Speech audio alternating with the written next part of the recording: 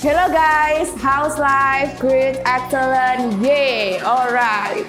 Pernahkah kalian merasa tersinggung atas ucapan atau tindakan orang lain? Lalu, apa sih bahasa Inggrisnya tersinggung? Well, let's check this out. So, teman-teman, bahasa Inggrisnya tersinggung adalah take it personally. Take it personally merupakan sebuah ekspresi yang bisa kita gunakan ketika kita merasa tersinggung atau merasa sedih karena ucapan atau tindakan orang lain. For example, don't take it personally. She is rude to everyone. I try not to take it personally if my friends don't respond my message.